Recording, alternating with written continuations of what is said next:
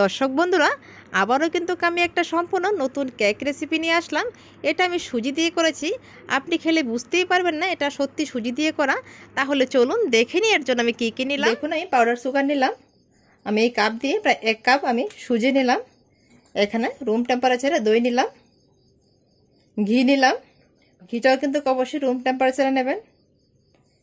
Baking soda baking powder এরপর দেখুন আমি এই চকলেটগুলো নিলাম কালারের জন্য। আমার কাছে কোকো পাউডার ছিল না, তার জন্য চকলেটগুলো নিলাম একটু কালারের জন্য। প্রথমে দেখুন আমি ঘি দিয়ে দিচ্ছি। দুই চামচ দিলাম। এরপর দইগুলো দিয়ে দেব। এগুলোকে একটু ভালো করে মিশিয়ে নিচ্ছি।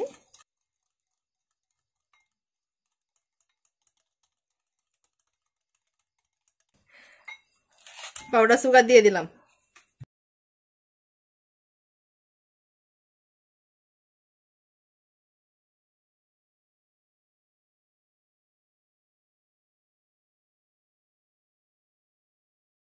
আমি এতে দুধ দিয়ে দিচ্ছি।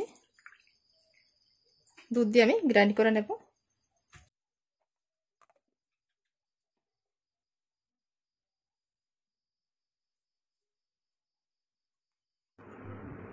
তো আপনার ঘরে যদি কোকো পাউডার থাকে, তাহলে কিন্তু চকলেট দিতে হবে না। আমার কাছে ছিল না, তার জন্য আমি চকলেট নিলাম।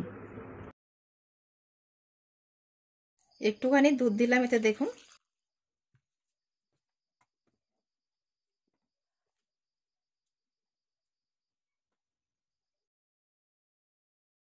দেখুন, খুব ভালো করে সবগুলোকে একসঙ্গে মিশিয়ে নিচ্ছি, যেন কোথাও জমাট না বেঁধে থাকে। এবার এগুলাকে আমি দশ থেকে পনেরো মিনিট ঢেকে রেখে দেব। পনেরো মিনিট পর ফিরে আসলাম। দেখুন, এগুলোকে আবারও একটু ভালো করে মিশিয়ে নিচ্ছি। দেখুন, এখন ঘন হয়ে গেছে, প্রথম পাতলা ছিল, কারণ সুজিগুলো একটু ফুলে গেছে।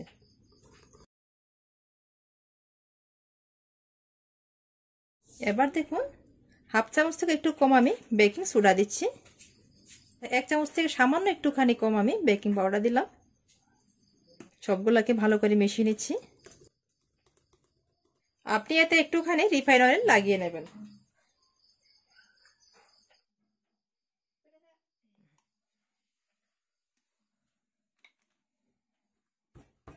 তো এগুলো দেখুন আমি আরেকটা বাটিতে আলাদা করে করে নিচ্ছি। কুকার আমি নুন দিয়ে দিলাম।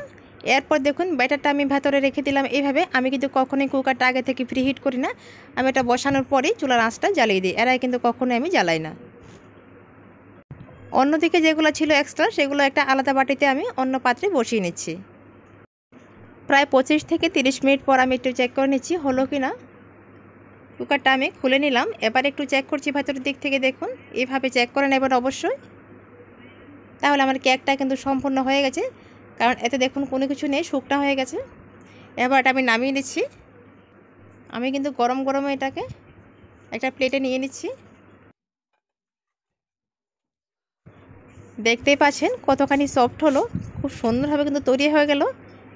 দেখুন নিচের দিক থেকে কোনো দাগ নেই, পোড়া দাগ নেই, সম্পূর্ণ ক্লিন আছে।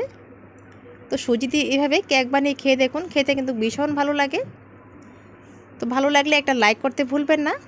নতুন দর্শকদের অনুরোধ করব আমার কুকিং যদি ভালো লেগে থাকে তাহলে আমার চ্যানেলটাকে সাবস্ক্রাইব করে সঙ্গে থাকা যে বেল আইকন আছে ওতে ক্লিক করে যাবেন। তাতে করে আমি যে কোনো ভিডিও আপলোড করার সঙ্গে সঙ্গে আপনার কাছে নোটিফিকেশান চলে যাবে। তো আপনার ঘরে যদি ডেকোরেট করার জন্য কোনো জিনিস থাকে তাহলে কেকের উপর থেকে আপনি ডেকোরেট করতে পারেন। কারণ আমার ঘরে সব জিনিস এখন নেই লকডাউনের জন্য সব জিনিস খুঁজে পাচ্ছি না, তাই এভাবে নর্মালি রেখে দিলাম, এভাবে আমি খেয়ে নেব।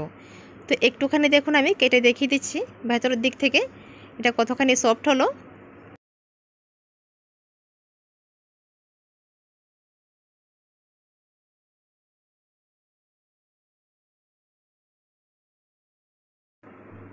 দেখুন তাহলে কতখানি সফট হলো। তো ভিডিওটা ভালো লাগলে সবাই লাইক করুন কমেন্ট শেয়ার সাবস্ক্রাইব করুন এবং আমার চ্যানেলের সঙ্গে থাকুন। আবার দেখা হবে একটা পরবর্তী ভিডিওতে সম্পূর্ণ নতুন রেসিপি নিয়ে। সবাই ভালো থাকবেন, সুস্থ থাকবেন।